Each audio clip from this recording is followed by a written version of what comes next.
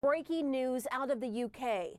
That is where a new government report says Vladimir Putin is looking to install a pro Russian government in Ukraine as the Kremlin considers whether to invade and possibly occupy that country. A memo from the British Foreign Office says Moscow may be considering a former Ukrainian politician as a candidate to lead the puppet government. Tensions between Russia and Ukraine have been growing for months as Moscow built up a sizable troop presence at the border, leading many to fear an invasion was coming. CNN's Nic Robertson is in Moscow. So, Nic, what more do we know about this?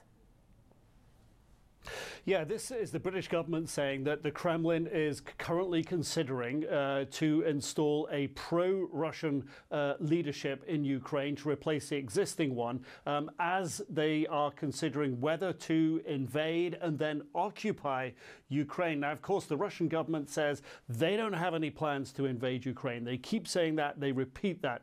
But what the British government is saying is they're naming an individual, Yevgeny Murayev.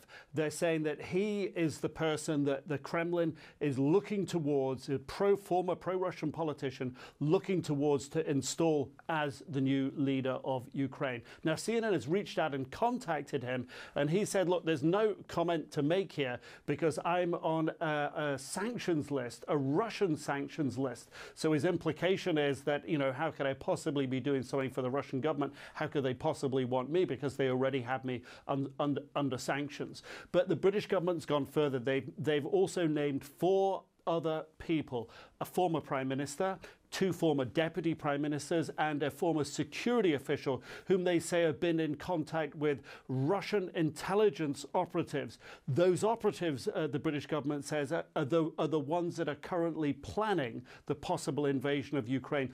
So this is very strong language, a very specific naming by the British government here. Uh, and the British Foreign Secretary says that this gives an indication of the thinking that's going on inside the Kremlin at the moment, as well as shining a light on the the, on the difficulty and the desperate situation the British government assesses Ukraine is facing at the moment. Yeah, I spoke to a British security source tonight and asked, you know, why are you putting this out there, all, all this information that you know? And I, I, said that the, I was told that the strategy is basically to send the message to Russia and also to the public that look, we know what you're up to, and um, you know, to get out in the front foot, as this person said, in the meantime, as all this is going on, the U.S. Embassy has sent its first shipment of security assistance to Ukraine, sending some 200,000 pounds of lethal aid, including ammunition for frontline defenders. Is there any concern that could provoke Russia even more, given Lavrov's recent response about an invasion that, that unless the U.S. doesn't go to bed with Ukraine, he doesn't think it'll happen? Yeah, this aid that includes ammunition for the front line coming from the from the United States.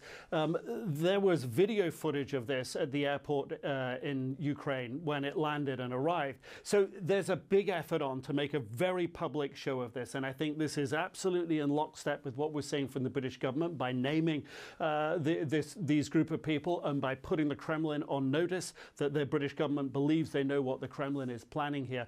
It is part of a package of efforts to send a message to President Putin to make him think twice about the potential of invasion. And it's not only that US military aid that's arrived today. We know that the Estonian government sending Javelin missiles, uh, anti tank missiles. We know that the Latvian and Lithuanian governments are sending surface to air missiles, the uh, Stinger missile system that's good against helicopters and low flying jets. The British government last week announced that they're sending weapon systems. The Czech government has announced that they're going to send ammunition for artillery. Uh, the German government has announced that they're going to send a field hospital to Ukraine, so a military field hospital. So all of these things, it is very public and it's done with that precise effort because they know that this is the moment President Putin is really considering his options and making up his mind. They have to get, as they would say, in his face to get him to, to look at what they're putting up is going to be the problems coming down the road to him if he does that.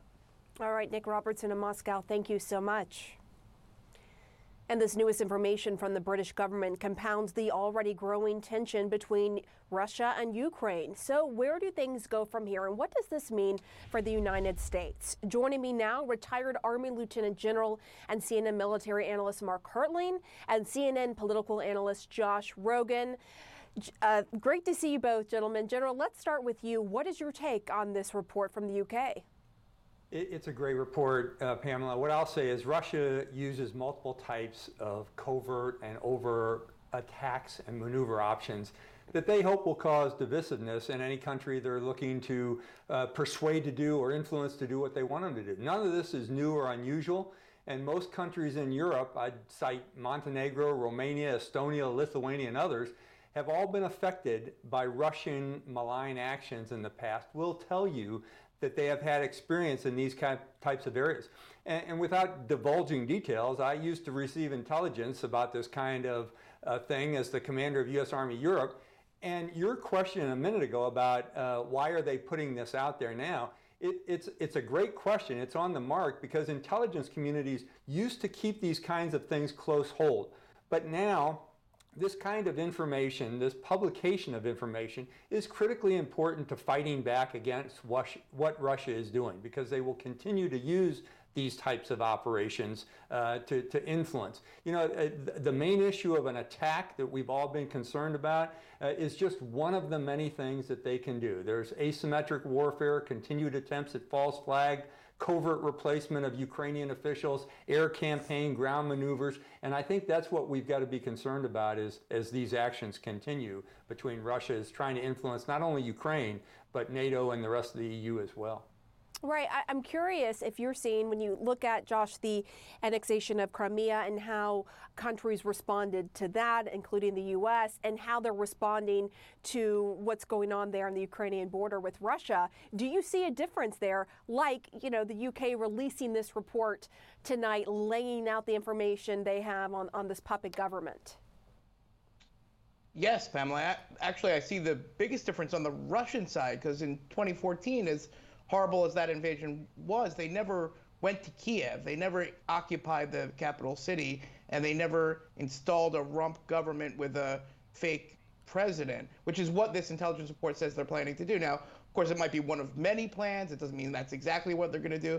But the fact that they're just that they have a plan to occupy the country means that their tolerance for pain might be a lot higher than what we're what the Biden administration has calculated. And I think that's why you see the Ukrainians and a lot of people in Washington, frankly, calling for the Biden administration to do more, calling for more lethal aid. Why is it that we only this this was the first ammunition? I mean, we've been in this crisis for how many months? They just started dropping off ammunition. I mean, uh, I think there's a lot of people on the ground who say, listen, we don't know what Putin's going to do, but the best way to stop the war is by increasing the aid now, increasing the sanctions now, because once he occupies Kiev, even though the whole world will know that this is a crazy stunt and to snuff out Ukrainian democracy, it will be too late. And if one of the options is to install a rump government and then tell all the world to go pound sand, well, I don't think sanctions are ever going to change that once it's uh, once they've done it. So uh, I, I, I think that we have a lot of reason to be very alarmed.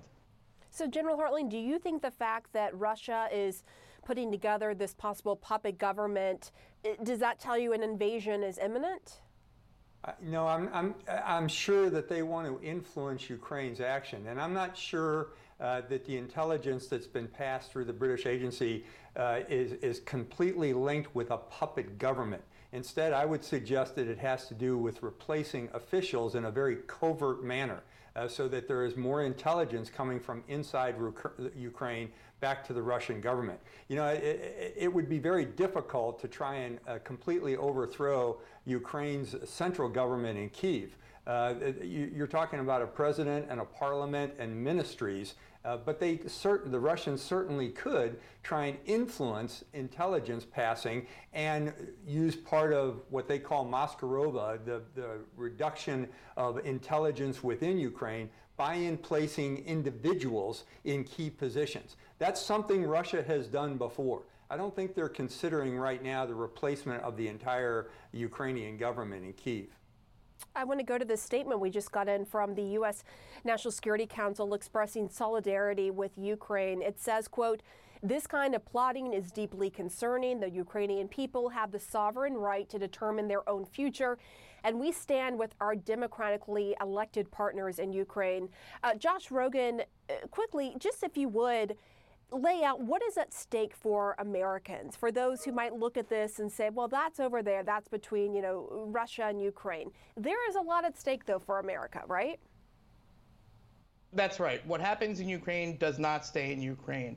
Not to mention the fact that the, if there's a war in Ukraine and if they occupied Kiev, that would be a bloody conflict in the middle of a pandemic that would reverberate through Europe. Uh, the precedent would have been set that democracies can be snuffed out even in 2022. And that's a, a green light for other autocrats like, let's say, Xi Jinping to uh, th- believe that America and the and the West has no stomach to to fight back against this. And so I think what you would see is a domino effect, and that would have repercussions first in Europe and then around the world. And you know we can say, well, that's over there, but it's really too late by the time uh, democracies have been snuffed out because uh, in the end, it's very hard to restore them. And uh, once we let one go, it's not going to be the last.